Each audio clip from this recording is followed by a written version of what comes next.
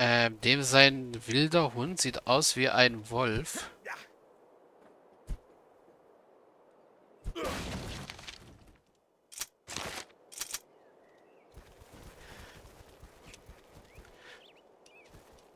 Und der greift uns auch gleich an. Amazone voraus. Nein, nein, nicht kein Einbeersaft. Lass das mal Vorgrimm machen. Das bin ich. Wobei, für dich brauchen wir keinen Pfeil. Für dich reicht ein... Deception. Äh, Candidus. Gute Entscheidung. Meint ihr?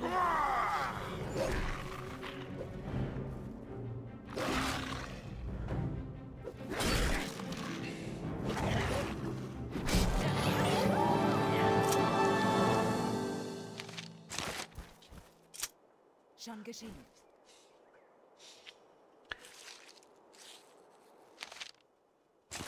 also das war eher ein...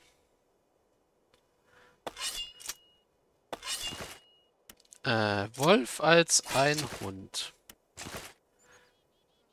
Wow, wir haben viel Ulmenholz mittlerweile.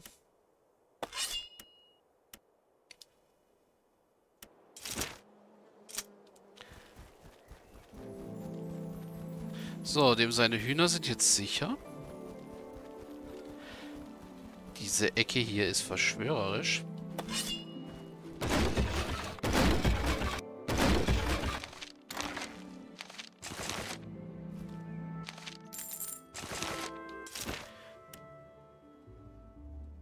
So.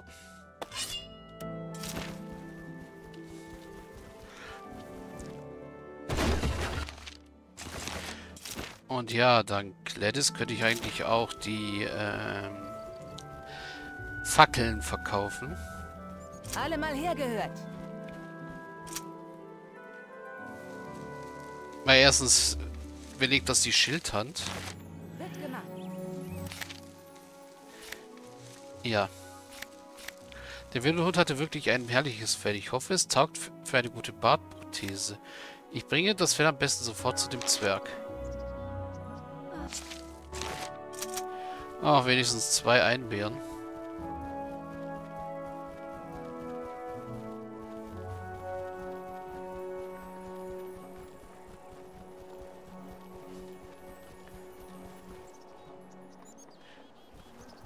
Okay, hier kann ich einfach rein und rausgehen, so wie es aussieht. Die, die haben hier gleich am Eingang ein Lager aufgeschlagen.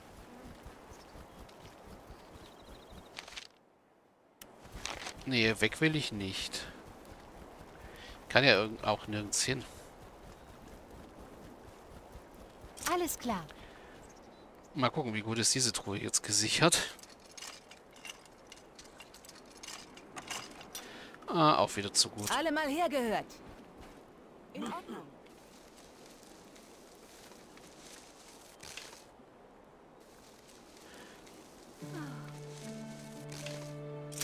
Okay, keine eitrigen Krötenschemel. Mal gucken, was hat die Krämerin? Was darf sein? Ich weiß nicht genau, was habt ihr gerade? Pfeil und Bolzen. Na, dann können wir ihr die Fellfetzen, Mausefalle, die Opferliste, das Teil, Krähenfüße und helles Pferdocker verkaufen.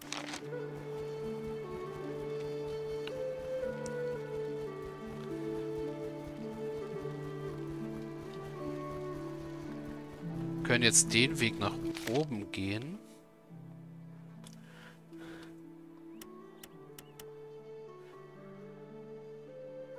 Bibliothek, Grafenresidenz, Kontor Neisbeck. Also wahrscheinlich von der Hinterseite, weil hier ist der Praios-Tempel. Äh, hier sind, ist der Perein und der Rondra-Tempel. Zwergenviertel ist abgeriegelt.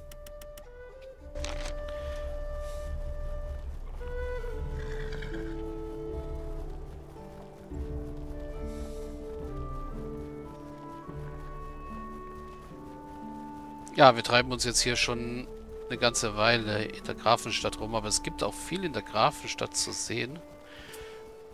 Muss man ja zugeben.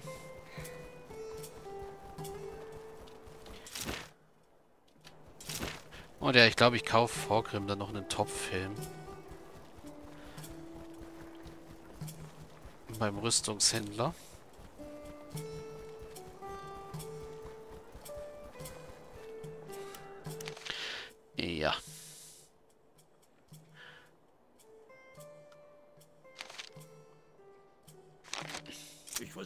Bestes.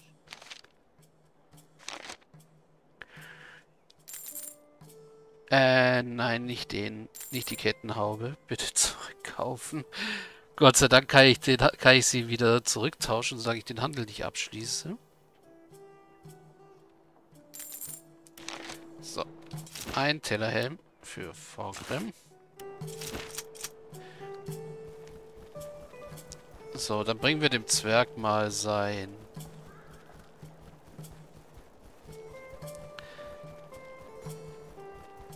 einen falschen Bart.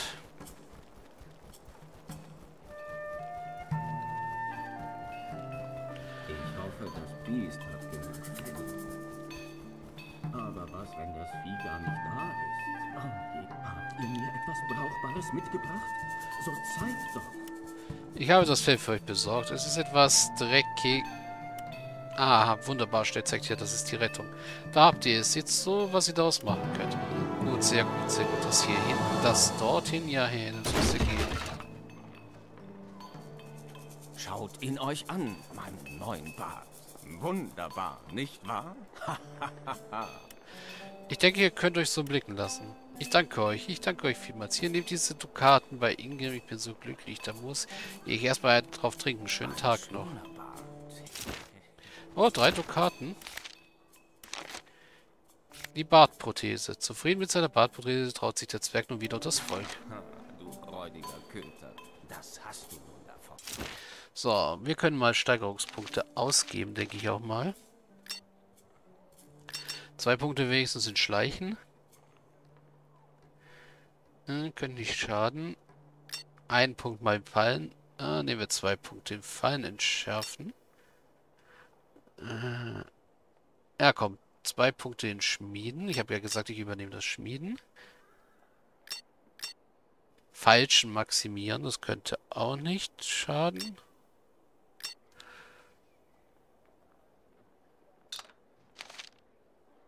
Äh, Schwerter steigern. Gut. Gute Entscheidung. Bei ihr Tierkunde, Pflanzenkunde, Heilkunde hoch.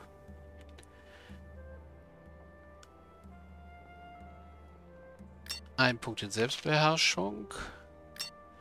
Ein Punkt in Säbel. Dann nehmen wir den Punkt in Selbstbeherrschung mal wieder weg und packen einen Punkt im Bogen. Und verbessern mal ihr Wildnisleben. So, bei ihm. Hiebwaffen ist auf Maximum.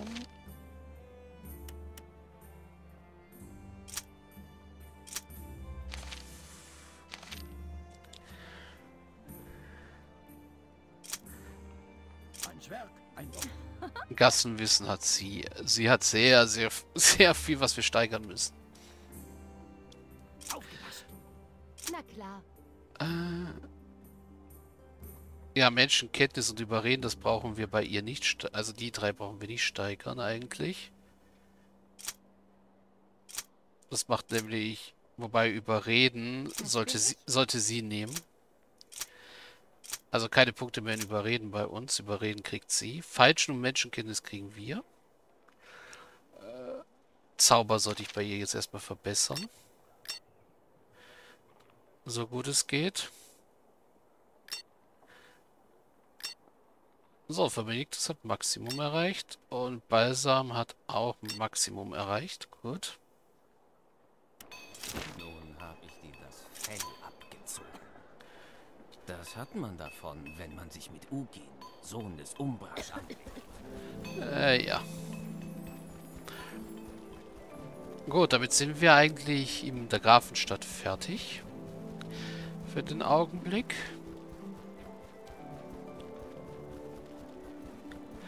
Jetzt können wir den Rest der Aufnahmesession noch damit verwenden, uns unser Haus anzusehen. Dafür müssen wir nur hier am Pius-Tempel rüber in...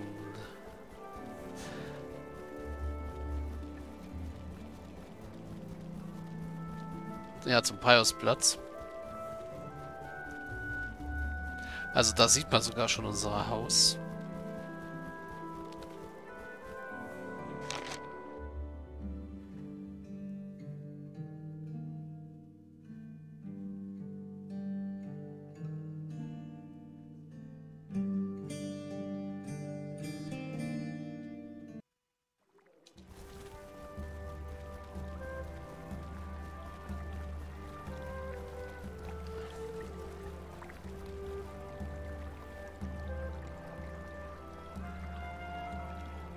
Ja, Kräuterfrau Ackerbold.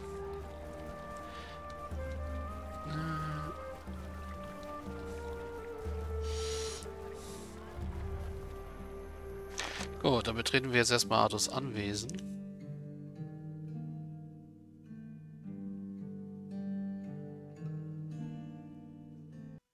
Willkommen, Orenheim. Ich hoffe, ihr seid mit mir genauso zufrieden, wie es der Herr vom Eberstamm war. Seid morgen besorgt. Wenn alle eure Dienste zu schätzen lernen konnte, dann werden wir sicher auch miteinander auskommen.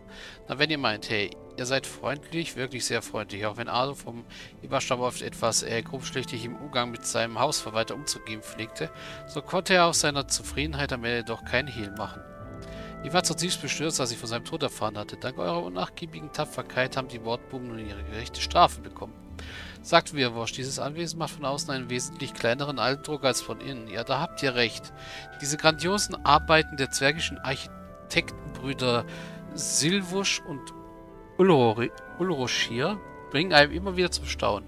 Doch ich will euch nicht lange mit Palaver aufhalten. Hier ist ein Brief, hm, kein Hinweis auf den Schreiber. Als der Bote ihn übergab, sagte er, es sei dringend. Zeigt her, hm. Der Zauberer Krom bittet mich, mich schleunigst zum Hesinde-Tempel aufzumachen. Ich soll dort beim Tempelvorsteher Dorion von Kuslik vorsprechen. Anscheinend gibt es ein Problem bei der Vorbereitung der Drachenqueste. Oh, was für eine Ehre. Kann ich vielleicht noch etwas für euch tun, bevor ihr aufbrecht? Eine Frage noch, Wirwosch. Ja, Herr. Wisst ihr, wo ich Dorion von Kustik und die Hesindekirche finde? Sicherlich. Verlasst das Haus und haltet euch am Preisplatz links. Folgt dem Weg bergab Richtung Stadtmauer, überquert die Brücke und haltet euch weiterhin links. Dort werdet ihr schon den neuen Tempel sehen. Er sieht wirklich strahlend schön aus nach den langen Bauarbeiten. Eine andere Frage. Dieses Anwesen, erzählt mir mehr darüber. Was kann ich hier machen? Ihr müsst wissen, Ardo war ein sehr vielseitiger Mensch. Da war, da es auch sehr viel, da er auch sehr viel unterwegs war, brauchten wir immer eine, immer viele Möglichkeiten, Dinge einzulagern. Oft zog er sich auch zurück und tüftelte an seinen Werkbänken. Doch an manchen Tagen, wenn besonders schönes Wetter war, saß er einfach nur im Hinterhof seines kleinen Garten, wie er ihn nennt, ihn zu nennen pflegte und ließ sich die Sonne ins Gesicht scheinen. Aber was genau interessiert euch? Wo befinden sich die Werkbänke? Leider wurden alle Werkbänke im Zuge der Untersuchung seines Mordes konfisziert, doch ich kenne Großhändler, die uns welche zu großen Preisen verkaufen könnte. 50 Dukaten würde eine kosten. Seid ihr interessiert? Äh, nein, im Augenblick nicht. Grämt euch nicht, Herr. Ich sehe große Abenteuer, in denen ihr Ruhm, Reichtum und ihre anhäufen werdet. Da bin ich mir ganz sicher. Habt Dank für Wosch. Kann ich noch was für euch tun? Ich wollte euch etwas anderes? Ja. Äh, erzählt mir über dieses Anwesen, ja. Ihr sprach von Lagermöglichkeiten. Ja, ein, ja, wenn ihr euch in den Raum östlich der Eingangstür begibt. Dies ist der Lagerraum des Anwesens. Arthur hatte immer, dort immer seine Beute aus seinen Abenteuern aufbewahrt. Mhm. Ja, erzähl mir vom Garten. Wisst ihr, ein Garten ist eine Form der Meditation.